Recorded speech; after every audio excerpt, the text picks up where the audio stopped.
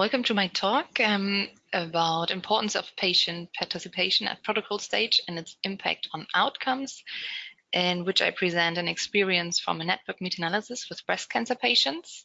My name is Tina Jacob. I'm a research associate at the University Hospital of Cologne, and I'm also a member of Cochrane Hematological Malignancies. Um, first of all, um, the project was funded by the Federal Ministry of Education and Research, Germany, and therefore does not lead to any conflicts of interest. And what will this talk be about? So I will um, talk about the background of the project, and then I will just very briefly uh, talk about the methods of network meta-analysis, then the procedure and importance of patient involvement, uh, the results in our conclusions. So the title of the project is Bone Modifying Agents for the Prevention of Bone Loss in Women with Early or Locally Advanced Breast Cancer, a systematic review and network meta-analysis. And the background um, is that anti-cancer treatments unfortunately cause bone density loss, which is associated with complications like pain and bone fractures, and therefore these bone modifying agents are additionally given to prevent bone density loss. And since the Federal Ministry of Education and Research also saw this topic as very important, they funded the project and it is now registered as a Cochrane review with the breast cancer group in Australia. And the funder and also Cochrane um, already have patient involvement policies. So we had our guidance with that. So here on the right, you can see uh, the overview of the bone modifying agents that exist. And at the moment, it's unclear which is the best in terms of um, efficiency. So for example, um, preventing bone density loss and then therefore preventing fractures or even bone metastasis. And also safety, so regarding adverse events. So there's a huge need for comparison. And um, I would just very briefly talk about the methodology of network meta-analysis to give you um, who might not know about it an overview. And also I used similar slides when um, we had the meeting with the patient representatives so you know what happened. So network meta-analysis is a very complex method to compare different treatment options in one analysis. And the aim of it is to generate a hierarchy of treatment options.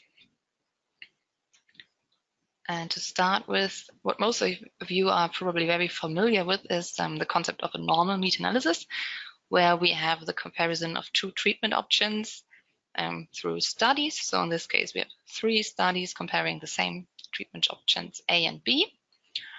And, and we can calculate an overall effect of these studies, and then we have the result as either favoring treatment A or treatment B or favoring neither of the two.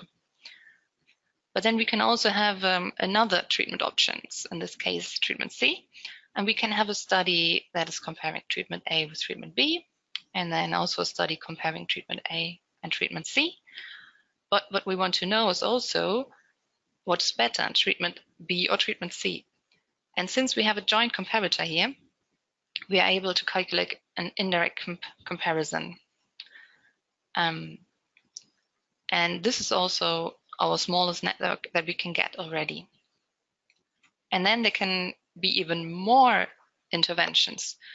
And we probably have studies, um, but not comparing all of them directly with each other. So the black lines indicate the um, where we have evidence through studies.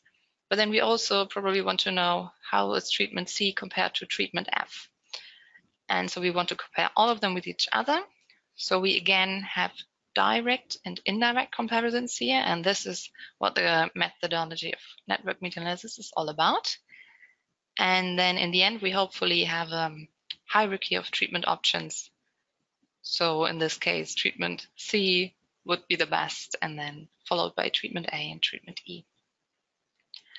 And the network that uh, of our project, so this is an ideal network, looks like this. So in the in the blue dots, you see all the different bone modifying agents again. Um, but we don't have evidence like those black lines is like in an ideal world, we don't have them. So we also have direct and indirect comparisons in the end. So why do we need patient involvement in this? Um, since different interventions might be differently efficient and may cause different kinds and magnitudes of adverse events, I think it's especially important to have patient participation um, when considering outcomes, especially when conducting network meta-analysis. So what did we do?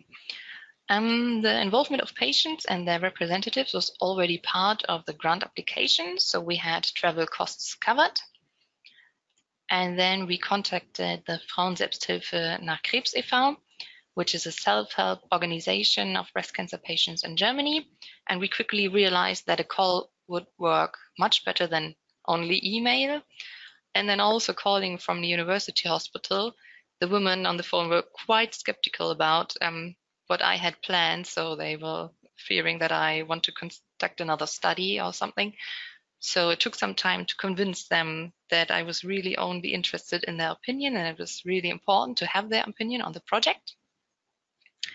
And after convincing them, we invited them for a meeting to discuss the project and especially the outcomes. And in the end, it was three patient representatives and two review authors who participated in the two hour meeting.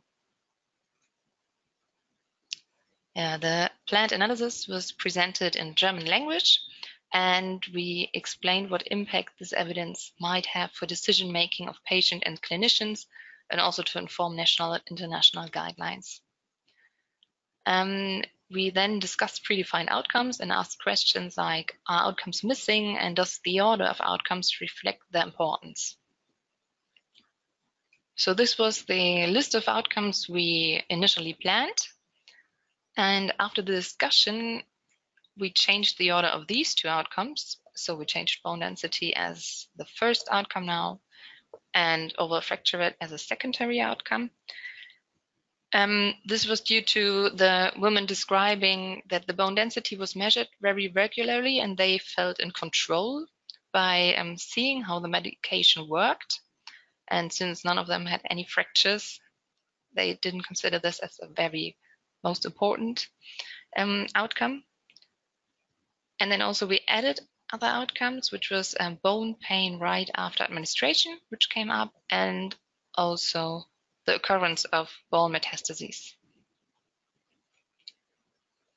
So as a conclusion, I can say it's very important to involve patient and patient representatives at, in early steps of the review development process and also throughout. So we are all still in contact and uh, keep in touch. They all agreed to be um, contacted by me and um, especially important when performing network meta-analyses because of the reasons I mentioned earlier.